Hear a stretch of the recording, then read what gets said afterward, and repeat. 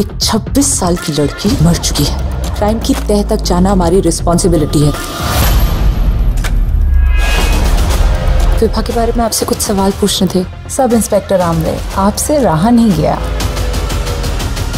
मुझसे बिना पूछे यहाँ पे कैसे आई? सब कुछ सुलझा लिया गया था। तुम्हारे एक स्टंट ने सब कुछ बिगाड़ के रख दिया। ड्यूटी तो मैं निभा रही थी सर सच ढूंढ रही हूँ।